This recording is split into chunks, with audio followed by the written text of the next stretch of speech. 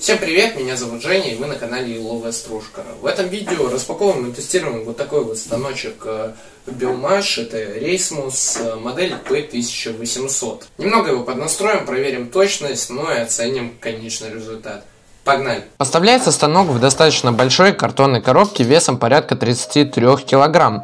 Сразу сделал вывод, что данный инструмент нужно где-то разместить так, чтобы его не переносить, а то можно и спину сорвать. Так что уже продумываю тумбу для него, которая будет закатываться в пространство под верстаком. Об этом возможно сниму отдельный ролик. Технические характеристики у Рейсмуса следующие. Потребляемая мощность 1800 Вт. Частота вращения строгального вала 8500 оборотов в минуту. Количество ножей 2 штуки. Размер рабочего стола 330 на 240 мм. Соответственно, максимальная ширина заготовки 330 мм. А вот минимальная толщина деталей 19 мм. Внутри коробки нас сразу же встречает инструкция по эксплуатации и техническому обслуживанию, которую обязательно изучил перед работой на данном станке. Вынимаю пенопластовую крышку, под которой находится сам рейсмус. Водружаю его на верстак и продолжаю распаковку.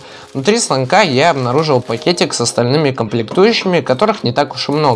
Конкретнее, рукоятка для регулировки глубины строгания, две непонятные детальки с магнитиками, как я понял, они нужны для выставления ножей, резиновая заглушка для рукоятки, шестигранный ключ необычной формы и винт для крепления рукоятки. Кроме этих деталей в комплект поставки также входит патрубок для стружка удаления и переходник для него. Приступаю к сборке и настройке станка. В этом нет ничего сложного. Первым делом устанавливаю рукоятку. На рейсмусе имеется отверстие со скосом, такой же скос присутствует и на рукоятке. Совмещаю их, после чего фиксирую рукоятку при помощи винта и шестигранного ключа. Далее скрываю углубление на ручке при помощи резиновой заглушки, по факту рейсмус собран. Поднимаю строгальный блок в верхнее положение для того, чтобы извлечь пенопласт, проверить точность и настроить инструмент. Под пенопластом была очень прикольная синяя пленочка, которую было очень приятно снимать, как будто купил новый телефон, только гораздо больше по размерам.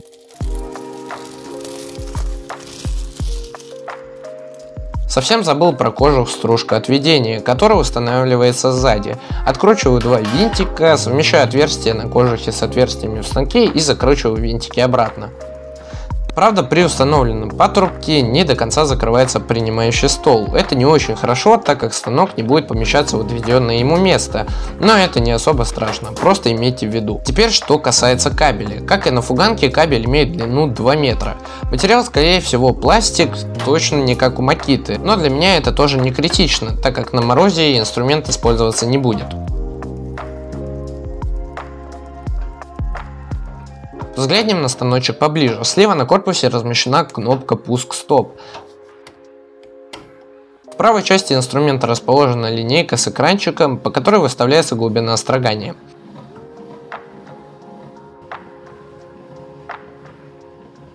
Имеется возможность прикрутить станок, к примеру, к верстаку. Для этого предусмотрено специальное отверстие в нижней части. Рядом с отверстиями для крепления есть болты с гайкой внизу. Откручивая и закручивая их, можно настроить ровность столов, чем мы займемся чуть-чуть позже. Сверху есть алюминиевые ролики, которые ничем не закреплены. По ним, как я понял, можно прокатывать доску. Лично для меня абсолютно бесполезная функция, но она здесь присутствует. Ну и по бокам имеются две ручки для переноски.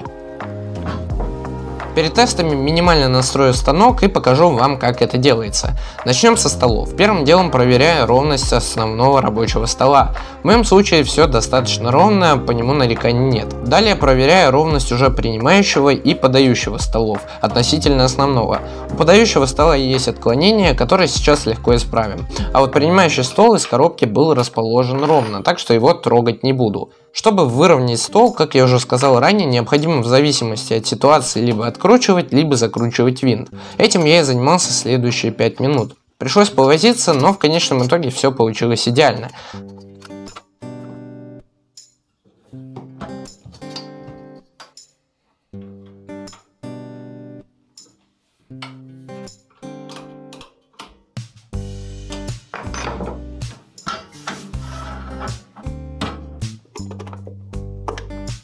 После настройки провожу тестовый запуск инструмента.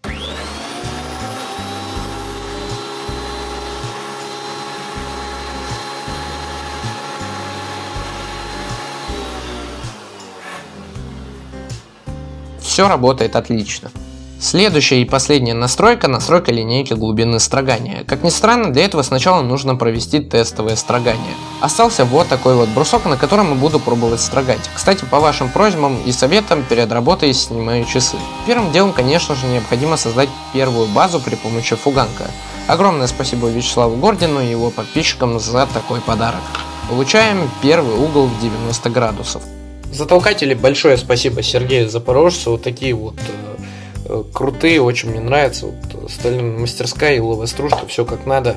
Э, вот, э, очень рад, пользуюсь. Вот еще такой. И для циркулярки тоже вот такой, только чуть поуже. Вот, очень крутые, спасибо большое. Теперь наконец-то переключаемся на рейсмус. Подключаю пылесос, так как без него будет очень неудобно. Это мы, кстати, обязательно проверим. Уставляю строгальный блок так, чтобы от его края до заготовки было небольшое расстояние и провожу первую в жизни операцию строгания, подавая заготовку по волокнам. Так как деформация доски была достаточно велика, прокручиваю рукоятку на полоборота, что равно 1 мм, и повторно ресмусую доску.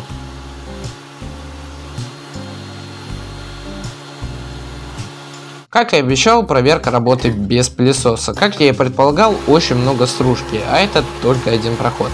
Вообще понял, что нужно покупать мини-вытяжную систему. Скорее всего, это и будет следующей более-менее крупной покупкой.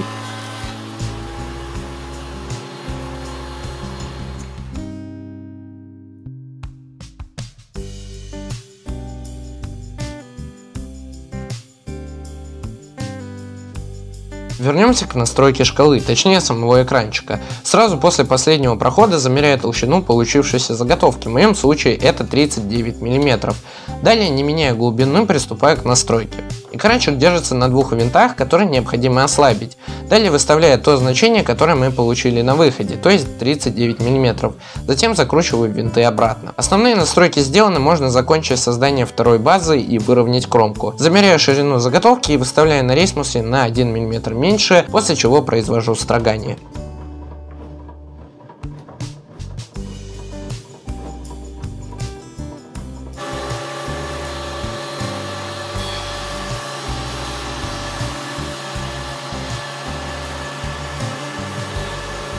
После строгания появилась ступенька, причем как с начала заготовки, так и с ее конца.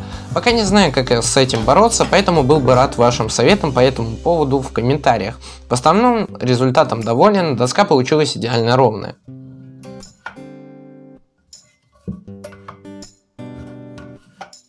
Ну и так как у меня появился дуб, за него огромное спасибо Алексею Крашу, Протестирую еще и на нем, так как это основной материал, с которым в недалеком будущем буду постоянно работать. Сначала также создал базу на фуганке, далее повторил все те же операции, что и с основным бруском.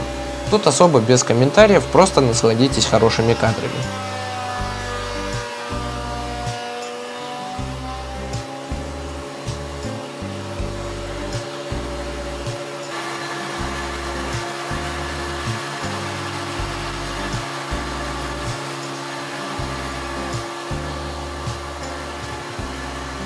Результатом также доволен, но ступенька присутствует, причем достаточно большая.